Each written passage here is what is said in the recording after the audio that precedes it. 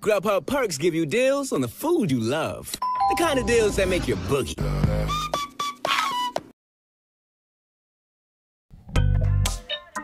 Today's sewing tutorial will be how to make little hive grubs. These malicious creatures are so adorable I had to sew them. The materials I need for this are the grub sewing patterns. They will look different in this video as I'm using an older template.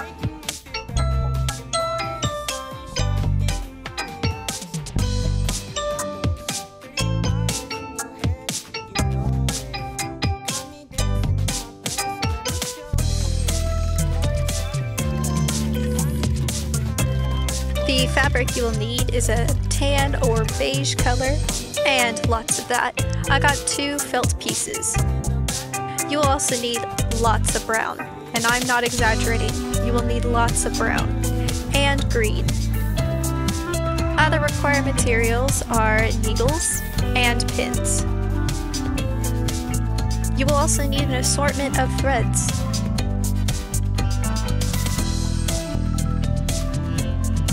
The only colors you'll need from this is tan, green, and brown.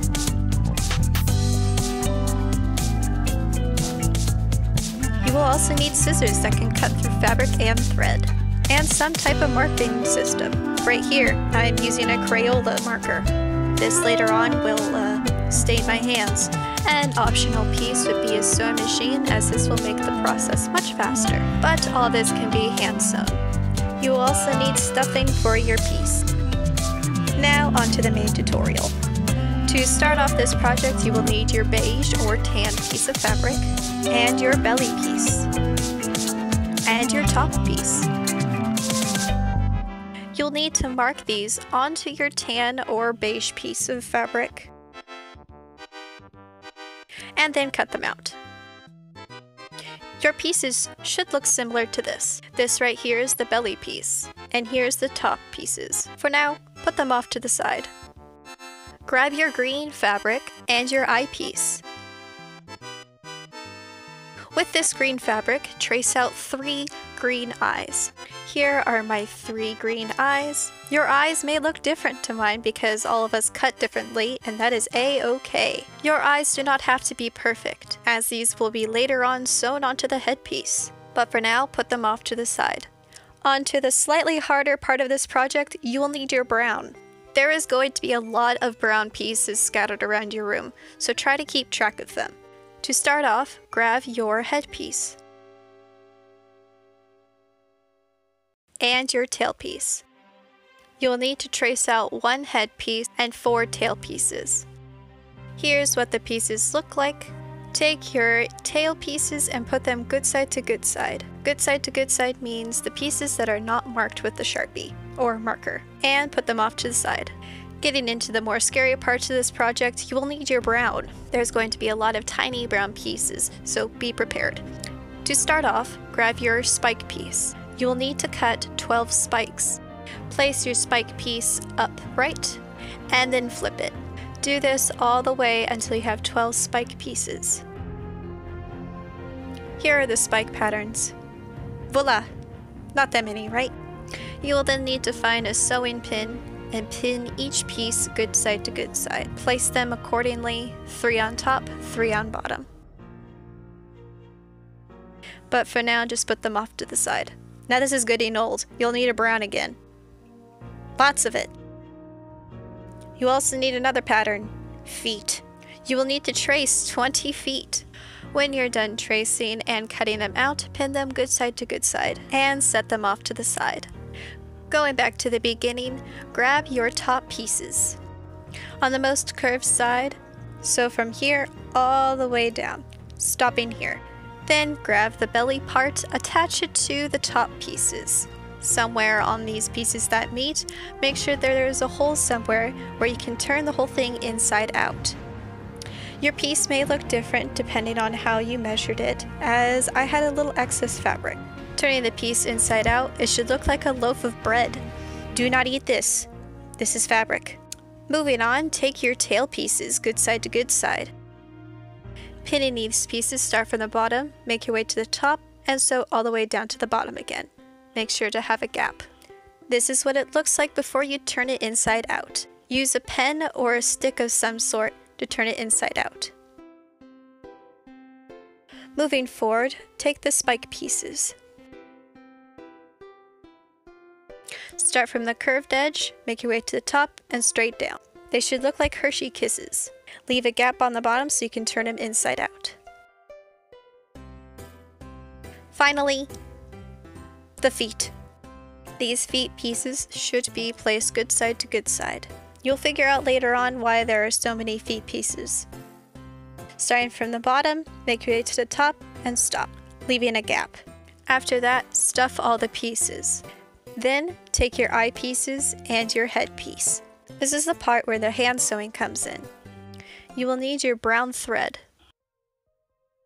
and a sewing needle. You will need a decent amount of thread. Thread this through the eye of the needle and do not forget to attach a knot. Taking your headpiece, place the topmost eye. Take your needle and start on the bottom of the brown. Then poke the needle through the eye. Pull the needle towards you. Then take the needle and pass it through the brown, underneath the green. Repeat this process throughout all the eyes, and don't forget to end it with a knot. The grub's face should look like this. Putting this off to the side, grab the body. You will also need the tail pieces. Starting with the body, we're going to close the gap. Take your needle and start on the topmost side. The color thread is the beige at the beginning. Pull the needle upwards.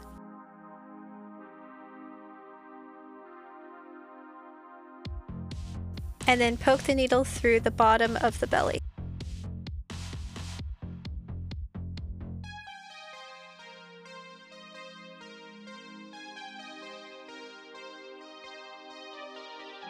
Go under and over. This kind of stitch is kind of like a funky ladder stitch. There's lots of video tutorials on how to do a ladder stitch. This is also called an invisible stitch. To close this, you will need to take your thread and pull lightly. If you pull too quickly, you may snap the thread and have to restart the sewing process. Do this technique to close the hole. After closing the hole, grab out your tails, which kinda look like sausages and then grab your body. You'll need to attach the tail pieces to the spikiest part of the body. Grabbing a needle and one of the tails, start from the underside of the tail piece and poke your needle through. Here I messed up a lot trying to get the stinking needle to get through the brown. It may take you a few tries too.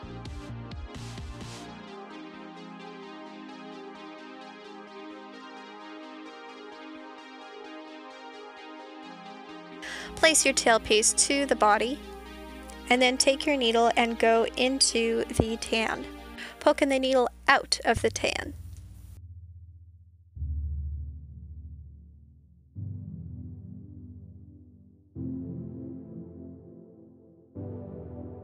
Proceed to pull the thread and attach the tail to the body by poking your needle through the brown again and then going into the tan all the way around. Your tail pieces and body piece should be attached like this. Yours may look different and that is okay. Proceed to find your spike pieces. You will need three spikes on each side of the top. You're going to use the same technique to sew these pieces together as you did for the tail. Here's a visual of where the spike placements should be.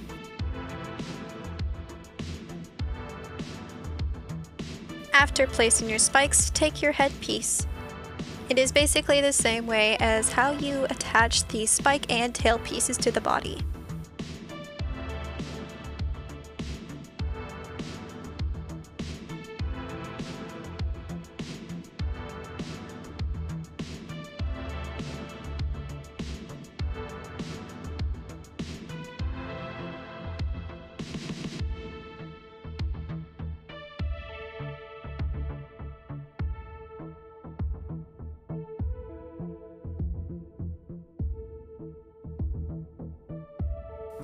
Find your feet pieces. The placement of these feet pieces should be two in the front.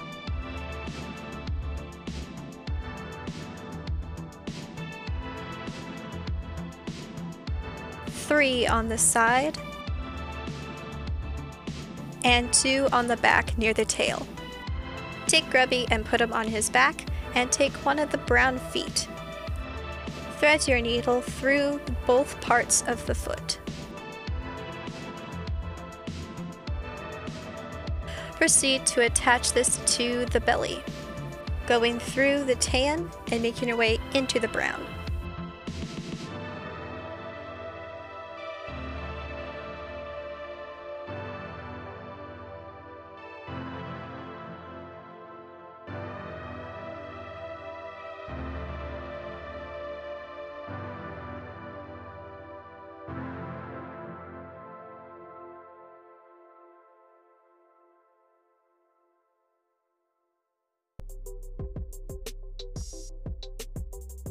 When your thread is in place, pull lightly on the thread. Do this for all the pieces and don't forget to attach a knot. Time to show off Grubby's feet placements. Here we have two on the side, three in the middle, and two in the back.